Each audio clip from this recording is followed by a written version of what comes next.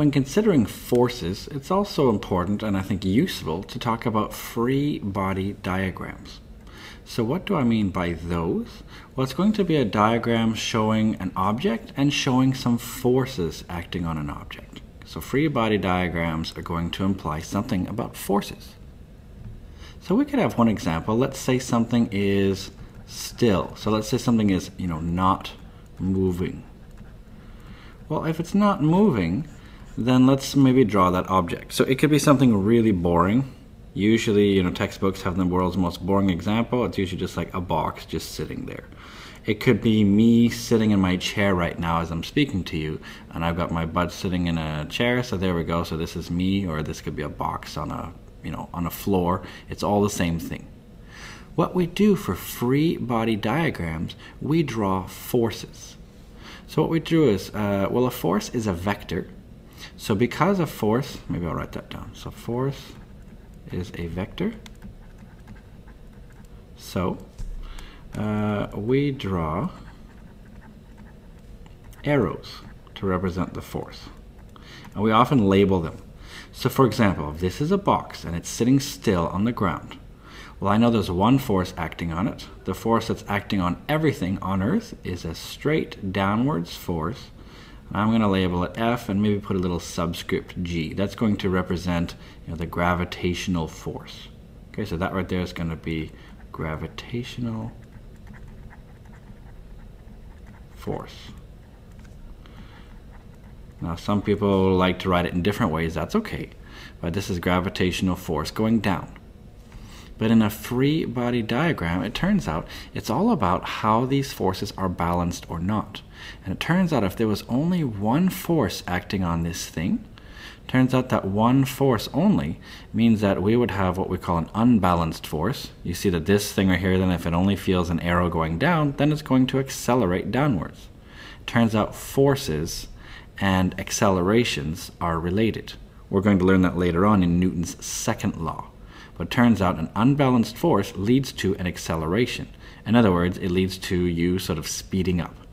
So if this thing was sitting on the ground, there was only a gravitational force, well then it would be actually flying downwards. It would be going downwards and accelerating.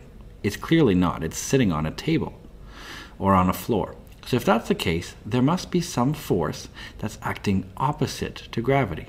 So I'm going to draw it. Now, uh, by the way, free body diagrams, we often draw the forces coming from the center of mass of the object. So in this case, if it's a little box, I'll draw the arrows emanating or sort of coming out of the very center. So from this right here, I'd better have a force going upwards, and it turns out this force should be exactly the same length as this one. And that force we're going to call Fn. N is going to stand for the normal force.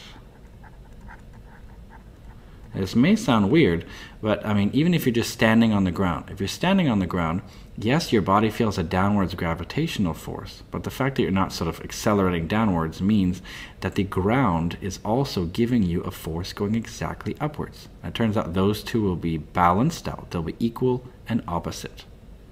Now, it's possible for these forces not to be opposite, uh, not to be equal and opposite.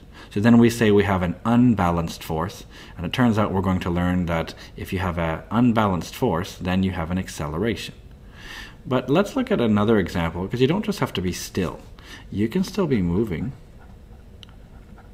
So something can be moving, and it all depends on if they're uh, balanced forces or not. But let's just say um, maybe I'm in a plane. Oh god, now I'm going to try to draw an airplane and I'm a really bad artist, so you're about to see why. So maybe this is my little Cessna airplane here, so I guess it goes a little bit like this.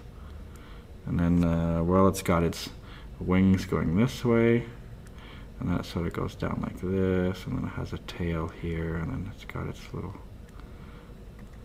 uh, horizontal stabilizer there, and then this, well, it just sort of goes straight like this, and it's got a little landing gear here and two there and it's got a nice propeller here of course this is where I sit if I'm flying the airplane uh, this is a really bad airplane but oh well you get the idea so in this airplane it turns out if I'm flying through the air then I've got forces acting on me here. Well, the plane does. So let's assume that right in the center here, that's the center of gravity. Let's just uh, assume that that's the case. If the center of gravity is right here, then, well, this plane is still going to feel a downwards gravitational force. Uh, but let's, let's assume it's actually moving at a constant speed. It turns out it can do that. It can still be moving constant speed. That means it's going to be, whoops, well, I made that look like a, a not very straight line, actually.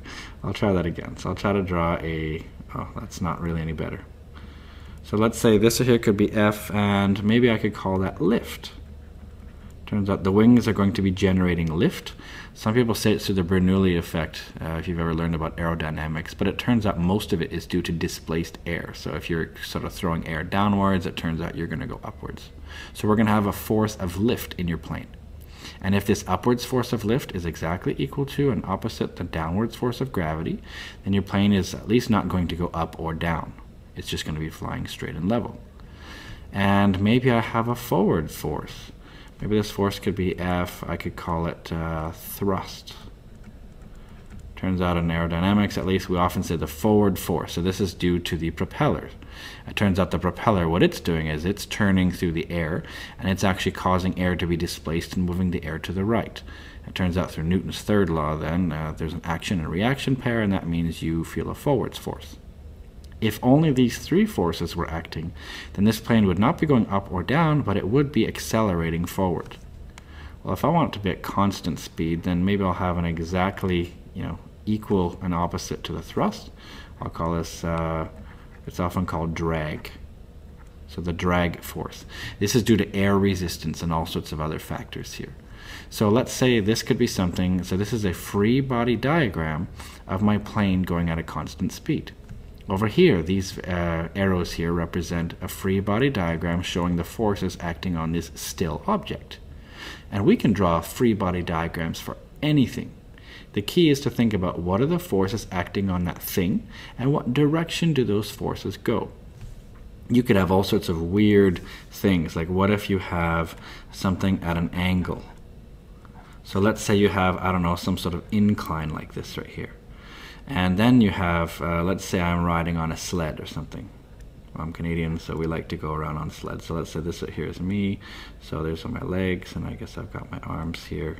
I'm holding on to a little thing right here, and I'm sort of, you know, zooming along down the hill here. Well, apparently I'm floating above the uh, thing right here. So let's just say I've got my legs here. So I'm just flying down. I've got a big smile on my face because I'm going down the hill. Well, if I'm on my sled here, well, we can look at what forces are acting on me there. And on this sled, well, the center of gravity of me and my sled, we're going to feel a straight downwards gravitational force.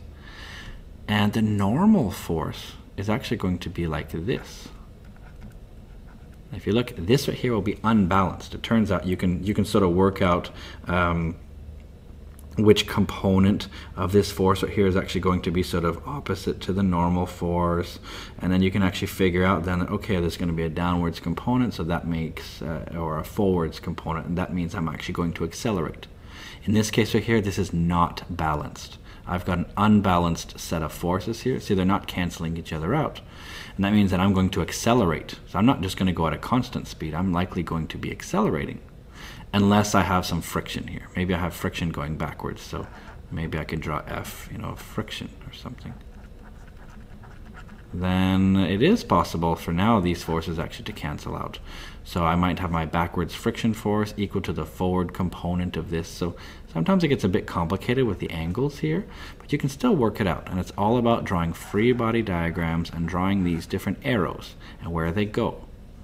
So that's just a more complicated example.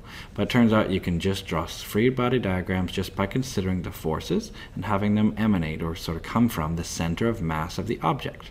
And we can use this. It's a very powerful way to figure out what happens in physics situations.